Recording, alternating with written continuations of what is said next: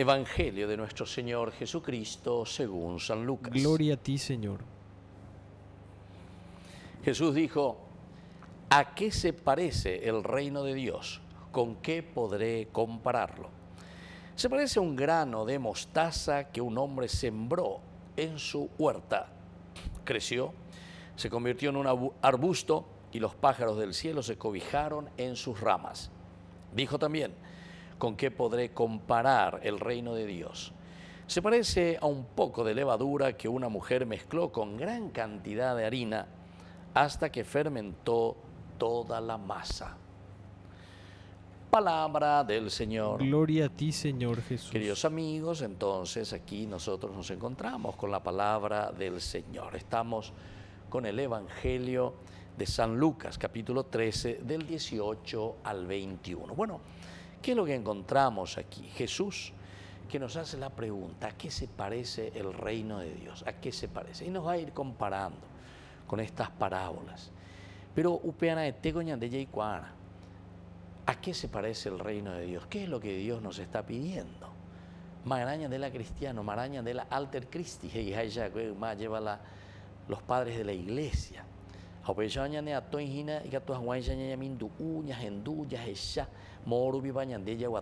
¿A qué se parece el reino de Dios? ¿Con qué podré compararlo? Y nos da el primer ejemplo. Se parece a un grano de mostaza que un hombre sembró en su huerta, creció, se convirtió en un arbusto y los pájaros del cielo se cobijaron en sus ramas. Entonces aquí ese grano de mostaza, tan pequeñito, queridos amigos. El grano de mostaza.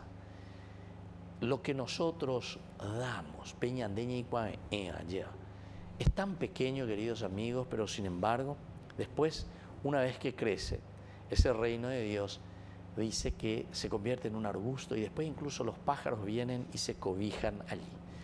Yo pienso que lo que Jesús aquí nos está diciendo y nos está dejando como ejemplo es demasiado claro y es demasiado simple también, ¿verdad? Porque nos está diciendo que lo único que tenemos que hacer es trabajar, trabajar, hacer lo que tenemos que hacer en nuestra sencillez, en nuestras limitaciones, con nuestras limitaciones incluso, queridos amigos. Pero tenemos que hacerlo, porque en la medida en que nosotros hagamos lo nuestro, ahí está el accionar de Dios. No somos nosotros entonces quienes vamos a cambiar verdaderamente el mundo, pero Dios necesita de nosotros. Dios necesita a los hombres, Dios necesita de ti. Yo soy la única Biblia que lee la gente todavía. Así dice esta canción. Entonces quiere decir que Dios nos necesita a nosotros, que pongamos esa semillita, es la encarnación, Peñan de Yara lleva oikea Peñan de Reco, bebe Peñan de Yara, oikea Peñan de Sociedad, Peñan de Yara, oikea Peñan de Atiguazupes, a Peñan de Peñan de. Es ahí donde vamos a sembrar la semillita. Pero después hay otros pasajes también, ¿verdad? Que nos cuentan, sea de noche, sea de día, sea que uno se levante o se acueste, la semillita va creciendo sin saber cómo, nos dice también el Evangelio. Quiere decir que Dios es el autor de nuestra salvación y Dios es el autor de nuestra felicidad. Pero para eso somos nosotros quienes tenemos que colaborar en este plan de redención y en esta historia de salvación. o continúa, llega y dijo también, ¿con qué podré comparar el reino de Dios? Se insiste en la cuestión del reino de Dios.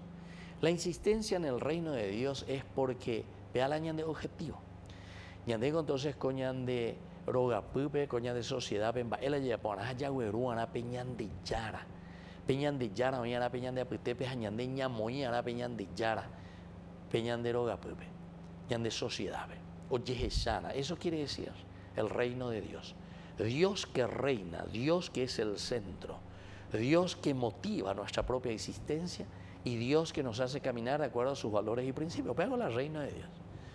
¿A qué le voy a comparar? ¿Cómo vamos a hacer para que ese reino de Dios se haga realidad? Y entonces dice, se parece a un poco de levadura que una mujer mezcló con una gran cantidad de harina hasta que fermentó toda la masa. También la misma cosa, queridos amigos. el hecho de que la mujer, ¿verdad?, fermenta esa masa de harina. La levadura también es la misma cosa, ¿verdad?, como ese granito de mostaza. Remoía lleva y sin embargo después hace que esa masa, que era así finita, eh, ya sin embargo, uh, enseguida crece. Nosotros tenemos que ser como esa levadura. Tenemos que ser capaces de hacer crecer, hinchar, ¿verdad? Ese reino de los cielos. El Señor de esta manera, una vez más, hoy nos está invitando a que nos comprometamos y que cada uno de nosotros ponga ese granito de mostaza, esa semillita de mostaza, y que pongamos también la levadura en la gran masa que es nuestra sociedad, que es nuestra familia, para hacer crecer y que se haga realidad Dios entre nosotros. Que así sea. Que así sea.